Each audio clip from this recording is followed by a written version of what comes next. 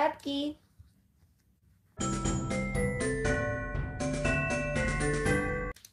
Вы меня слышите?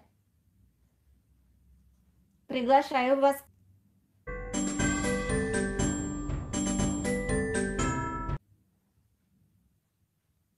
Где вы там? Будьте здоровы. Где вы там, ребятки?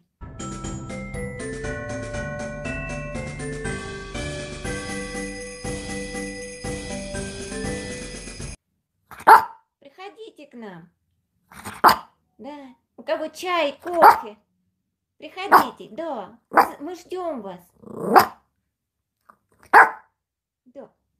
У нас тут, скажи, вкусняшки. Привет, Запорожье. Мы Добрый уже несколько лет встречаем Новый год по скайпу с нашими Да. родственниками, с Артуром, братом. Но елку Виктор. живую поставим.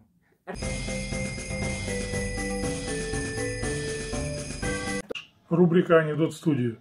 Старый-старый анекдот, когда мужик ходит по рынку с ковром на плече, и такой все ему пристают, тогда ж время ж было такое застойное, трудно было достать ковры и все такое прочее. Он ходит по, по рынку с ковром, и все к нему пристают. Говорит, мужик, продаешь, продаешь? Он, не, не продаю. А что ты с ним делаешь? Меняю. На что меняешь? На аналогичный шматочек сала. Я улыбаюсь, а мне анекдот понравился. Такой шматок сала вы себе представляете? Главное, чтобы он не был такой тоненький, как ковер. Это да, это же вообще как это шкурка и, и, Да, все, и всё, пленочка.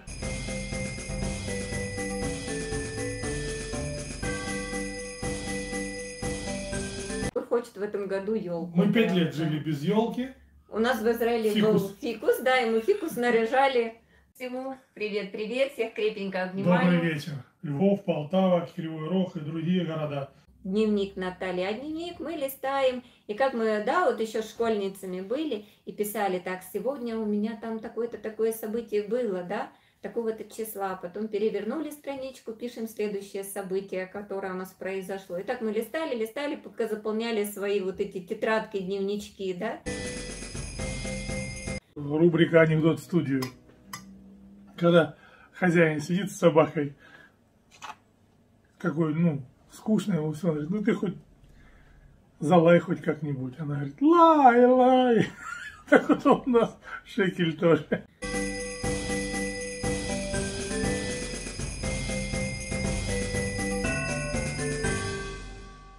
Поздравлялочки мы делали так, в дневничках делали э, как э, треугольнички, писали поздравления, песни там писали, всякие такие дневнички заполняли. Что-то У некоторых были навеяло. дневники, анкеты, у некоторых просто дневники. Да, и что-то вот так вот навеяло, думаю, ну это же дневник нашей жизни, мой дневник, правильно?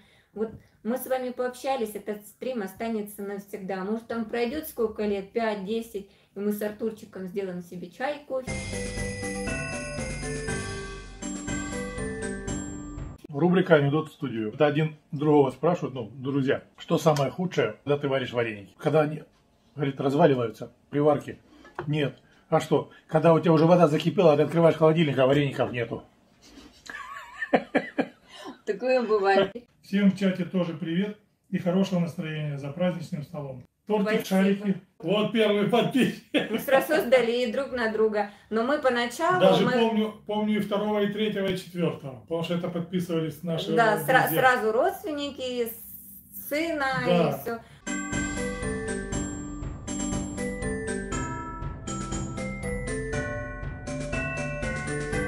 Мы уже в Ютубе много лет, да? А почему в Ютуб зарегистрировались? Потому что у Артура брат свой канал открыл на Ютубе, хотел там кулинарные Да, влог и вести. забросил его. Да, и мы на него подписались. Иногда что-то там вылаживают, но это редко. Ну, А- уже давно ничего не А мы открыли свои каналы, но тоже ничего не снимали. Они у нас, вот если заходить, смотреть, зарегистрировано там с 2014 года, что-то такое. Анекдот и без рубрики. Женщина приходит к врачу и говорит, доктор, что мне делать? Говорит, у нас с мужем, вот он приходит с работы усталый, замученный, и когда доходит дело до этого, у нас уже давно нет с ним в спальне никаких дел. Он говорит, не вопрос, вот, вам порошочек, говорит, и у вас все будет нормально. А как? Ну, говорит, в пищу насыпьте. Ну, хорошо, та пришла домой, муж приходит с работы, она наварила вареников, насыпала. Говорит, дорогой, иди кушай вареники. Говорит, а я пока там в спальне. Проходит некоторое время, муж залетает такими глазами выпущенными. Дорогая, дорогая, ты видела, как люди сексом занимаются? Да. А ты видела, как животные сексом занимаются? Да. А теперь пойди посмотри, что там вареники делают.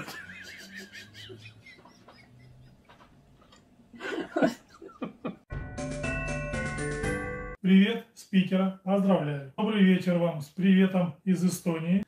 По этой дороге Артурчик меня на велосипеде Десна возил на руле. Он там сделал дощечку, чтобы мне было удобно сидеть.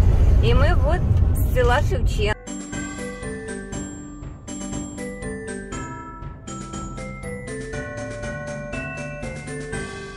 Ехали сюда в маяк, ловили с ним рыбу. На резинке муж меня учил. Так здорово проводили время, тихо, спокойно. Красотища. А потом сушили у мамы, там целые гирлянды тарани было. Сейчас холодно, наливайте горячего чая, кофеечек, присоединяйтесь к нашему столу, у кого что есть. Тут моя мамулечка жила. Вот мамин дом, мамины ворота. Боже мой, какой большой орех. Вот. Вот где трактор стоит, видите? Это раньше мой был э, как бы наш дом, где мы там росли с братом, с сестрой, маленькие. И вот перебегали через дорогу, перелазили, и все лето, все детство прошло вот на, на этом футбольном да, поле. И футбол гоняла с мальчишками, и по турникам лазили, и гусей здесь пасли. Кто любит гусь, животных? Пробовала, там, наверное, пару раз корову доить. Козочки пасутся. Да, телята. Здесь тоже вот хороший, неплохой ставочек. И вот смотрите, лебеди, представляешь? Видите, на том берегу. А вот здесь вот, э, по ту сторону дороги, вот вы видите, ставок. там камыши. Да, был ставок. И мы с братом вообще руками ловили рыбу. И бегали, коленки сбивали до крови. Вот все детство было здесь. Представьте, какой у нас будет стол. Стол на весь мир.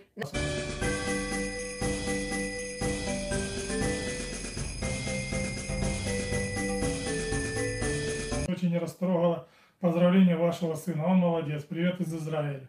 Пишет, классно выглядите. Спасибо.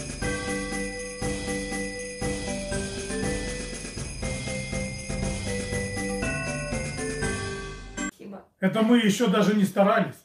Это у нас еще холодно. Он сам пошел, поговорил с учителем, ему дали образец заявления, мы его дома написали, подписали. Сын пошел, отнес, и сын у нас закончил музыкальную школу по классе гитара. Знаете, как это старый еврейский анекдот говорит, Сара, ты сегодня так классно выглядишь, это я еще себя плохо чувствую. А как вы познакомились, если не секрет, конечно? Не секрет. Вы знаете,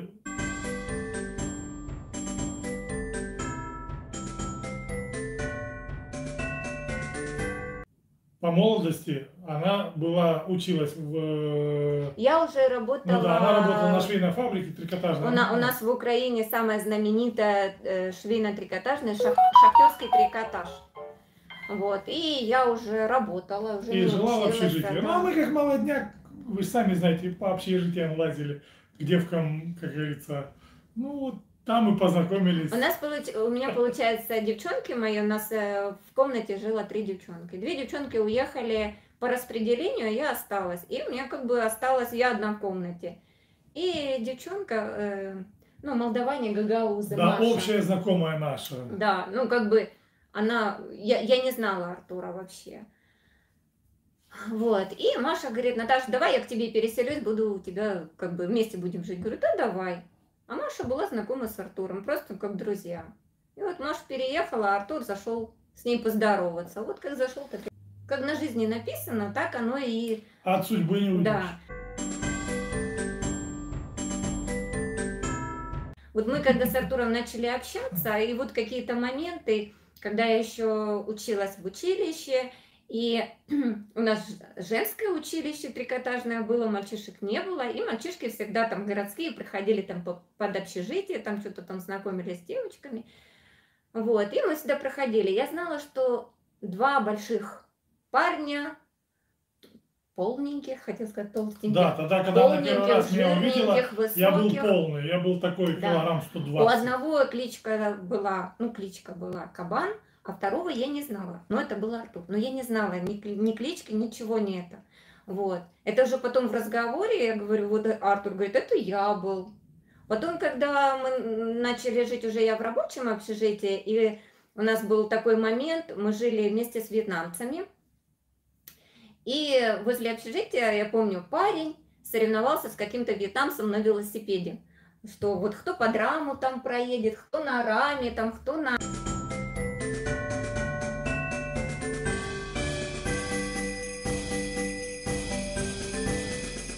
ну, вот э, всякие эти самые. Я помню, высокий парень сел такой на велосипед и такой ногами а, от земли такой и поехал. Ну, конечно, куда вьетнамцу, у которого ножки короткие? Конечно, нет. Ну, я еще в Эджигере садился на багажник, держался за руль и ногами крутил педаль. Да, ну, в общем, вот я помню эти моменты. Артур говорит, это я был. Говорю, ну как ты?